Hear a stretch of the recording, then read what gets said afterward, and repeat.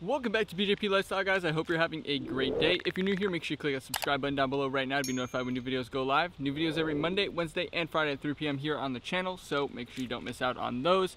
And if you guys can get me to 10,000 subscribers by the end of June here on this channel, which I don't think you guys can, it's kind of a challenge, but if you guys can do it, then I will get the Jeep logo tattooed on me, so if you want to be a part of that, make sure you click the subscribe button right now. Now, I've been wanting to do this video for a long, long time. It is an insanely hot day out here today, and I'm out here recording this video for you guys, so hopefully you guys appreciate that. But this video is to have a lot of overlays in it and just kind of me talking and uh, basically you've seen by the title and the thumbnail that this is to be building my Jeep in X amount of time. So I have a list of things I'm to talk about. I'm to go over each thing in the order that I did it. If you guys want to watch the video on how I did the install or anything more in depth about it or get the links to these products, there will be a pop-up up here along the screen the whole time for a playlist for Jeeps.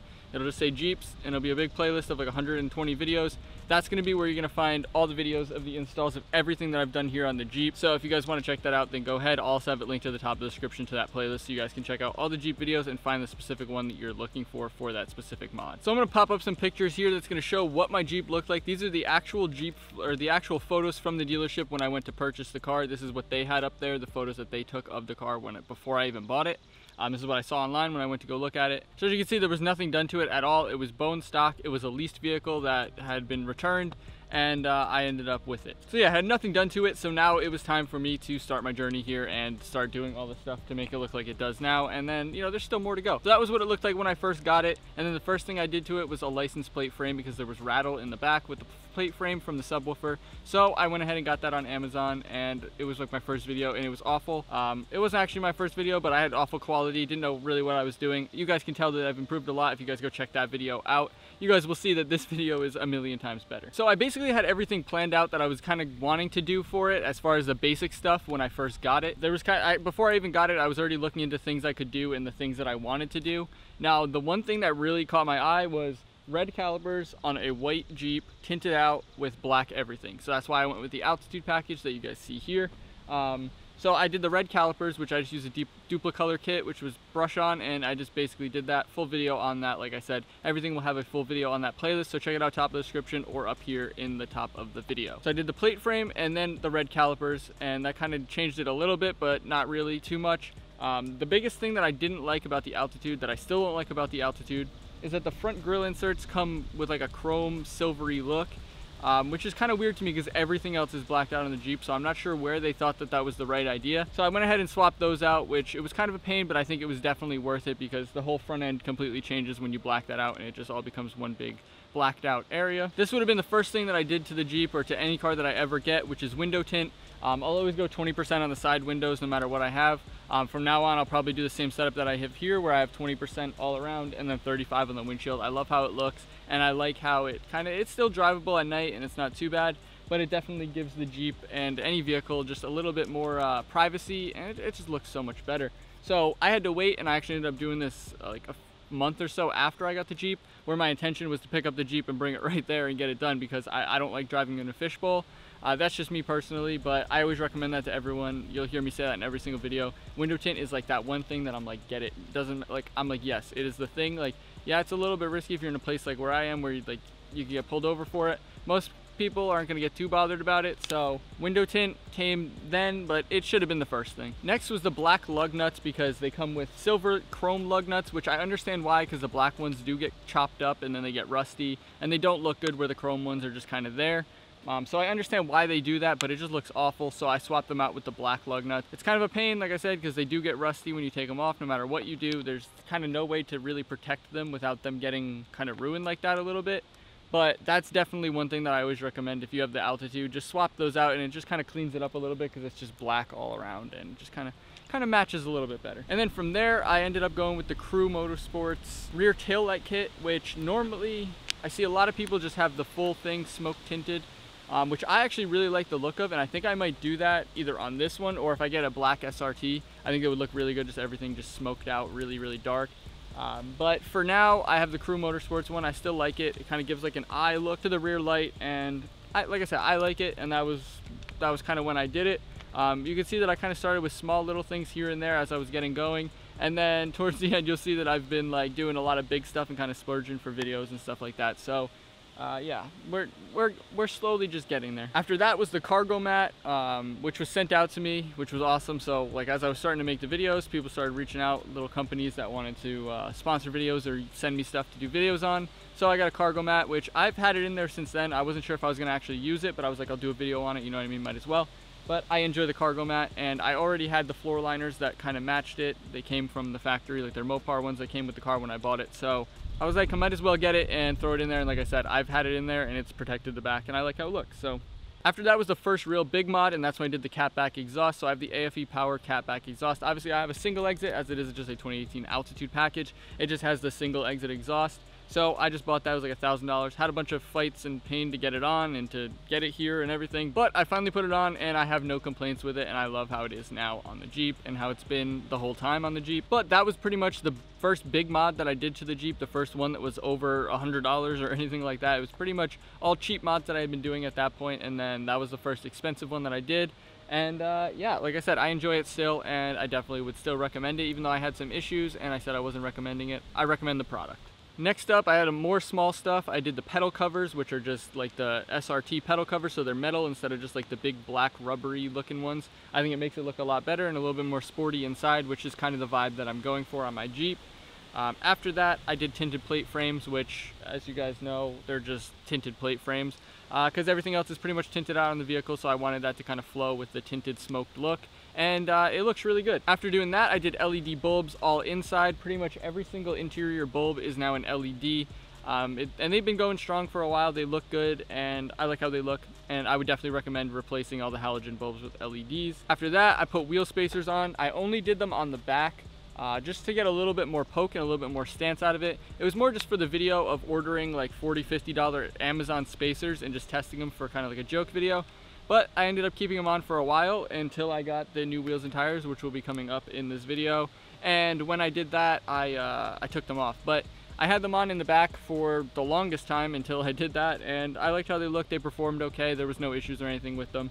But uh, yeah, it was kind of a joke when I got them and then they ended up staying on. Next was in the front, I did LED headlight bulbs as well as LED fog light bulbs.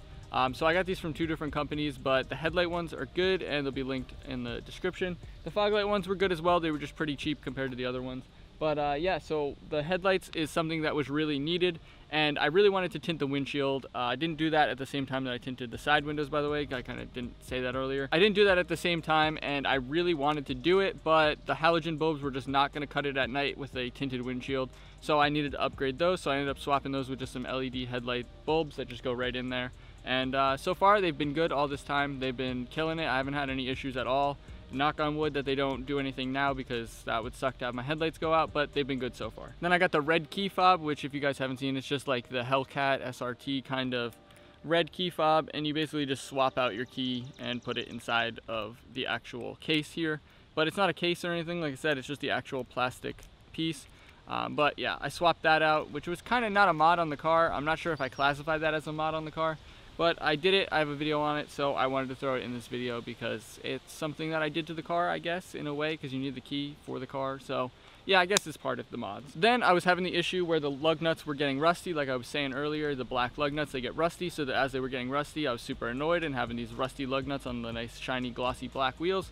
So I ended up just getting some vinyl covers for like 20 bucks, 25 bucks on Amazon, which slide over top of the lug nuts. They suck to get off, but they're not too bad. I guess if you use pliers, I ended up figuring that out and it wasn't too bad. But yeah, they cleaned it up and they made it look nice until I ended up going with the new wheels and tires. After that, I wrapped the interior with vinyl. I did carbon fiber as well as just kind of like a matte black kind of vinyl and just kind of cleaned up all the little silvery chrome spots inside and just made it look a lot more smooth and I think it looks really good personally even though I messed up and had a lot of issues. If I were to recommend it now I would say don't do it yourself unless you're really good with wrap. Um, I would bring it somewhere and have them do it because mine is pretty messed up and has a lot of spots that are peeling now that it's been warm out and the sun's heating it up and it's expanding and stuff. So it's kind of annoying, but you don't really notice it too bad. And overall, it just cleans it up and makes it a little bit darker inside, which is, you know, I have it all tinted out with black interior. That's kind of what I'm going for is a little bit of a darker kind of vibe inside. And then I ended up getting the Crew Motorsports third brake light and reflector kit for the back, which basically just smoked it out to 20%, which is super, super dark on the actual reflectors, but it looks so good. And I, I love the way that that looks. That's one of my favorite things that I've done. Kind of want to smoke out the entirety of the back uh, tail lights because I think it would look so good to have them just completely blacked out. After that, I did the red push start button from an SRT, which was kind of a pain to install. Like it's simple once you get it out, but getting out the whole like Uconnect system really kind of sucks and it's kind of a pain. I broke some clips, so I ended up buying some replacement clips and fixing it. Not too big of a deal, but uh, yeah, it's kind of a fight to do for just a small little push start button. But to me, with the carbon fiber, I think it made it look a lot better and a lot more sporty inside. Then after that, I finally got my appointment and everything, pulled the trigger, got the 35% windshield tint, which now I absolutely love, especially when I'm driving around like on like, it's like a nighttime kind of thing. Like no one can see in at all and I can see out perfectly fine. So that's one thing that I love about it. Plus it keeps the car so much more cool. If you guys get the ceramic kind of uh, tint, then you're gonna get even more heat protection out of it and uh, it's going to help you guys a lot with cooling off your car especially if you're in a place like Florida or something like that or like here during the summer it gets really really hot like today it's like almost 100 degrees and if you're not in the shade or anything like that you're going to be cooking so that's one thing that I love about the windshield tint. After that I just did a simple vanity mirror bulb because I didn't do that previously which is just a little flip down mirror. Um, I swapped those out with blue LEDs on accident but they came out okay and it's super simple to do so you guys can check that video out and then as you can tell the mirrors here the little mirror caps are actually black where normally they come paint matched white or whatever color your uh, Jeep is on the altitude. Some of them come chrome on the higher models, which I'm not sure why because chrome is so gross and I hate the look of it. But in those situations where you have the white one or I guess the chrome one, I ended up trying covers and then I ended up just painting them. So both of those videos, like I said, are in there and I love how it looks because the black ties in all the way around the windows and it just kind of puts everything where I want it and it just kind of ties everything in kind of how I want it to flow basically. I also did the front reflector kit. I don't know if you can see, you probably can. Uh, right over here I did the front reflector kit on the front headlights. First, I was super skeptical, wasn't sure if I wanted to do it, wasn't sure if I liked it, wasn't sure if it was gonna be something that I wanted to do.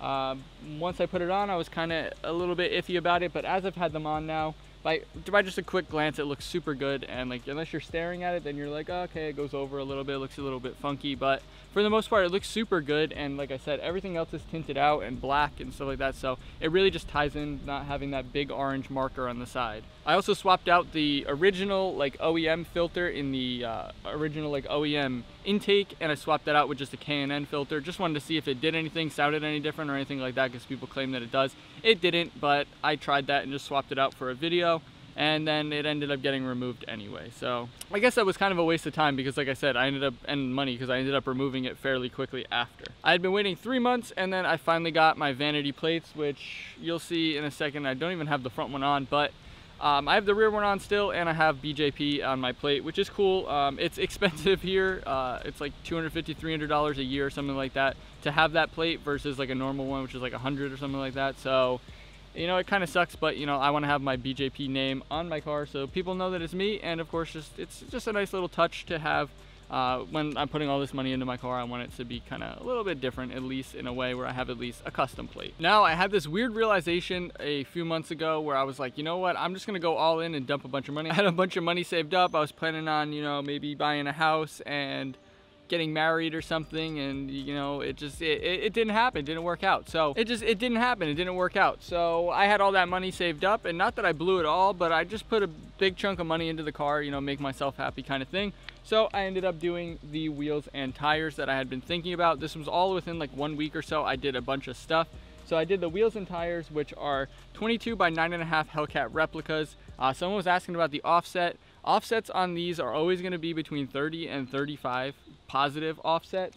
So the ones that I have are like OE Creations or something like that, and they're a positive 35 offset. And uh, everyone that I've looked at has been positive 30 or positive 35 with these as far as taking the Hellcat replicas and putting them onto a Jeep platform. So that's kind of, uh, yeah, that's what they are. And then they're wrapped in the Nitto 420V tires in a 285-35 R22. So that's what's on the Jeep there. And I was super stoked on this because the altitude ones were 20s and I was I wanted to go to the 22, fill it up a little bit more, make it look a little bit better and kind of give it that more sporty look, which it absolutely did. And like I said, that same week I had a bunch of other stuff done. So I ended up getting the Eibach lowering springs, which as you can see, it's kind of lowered. Um, it's hard to really tell on video, I feel like uh, but it's a lot lower because I'm six feet tall and it only comes up to like, yeah, I can see over the Jeep now. I couldn't before. It also gets rid of that rake, which is awesome because I hate the look of rake on any vehicle, especially trucks. Uh, when you get the rake on a truck, you have to level it out, do something with it. You're not gonna lower it, where this one, I went the opposite way and just lowered it and it looks good. One thing I will say with that is I wish I would have went with 305 tires. I think that will fill the wheel well a little bit better than the 285s obviously but the Nitto 420Vs don't come in that size, which actually really sucks because that's the one, I love these tires now. Like they grip really well, they perform well. I like how they feel and I really, really like how they look. They have a really good tread pattern and just overall they really fit what I'm going for and I really like the look. After that, I decided to send it, do the K&N cold air intake. You guys had been asking and requesting it for the longest time.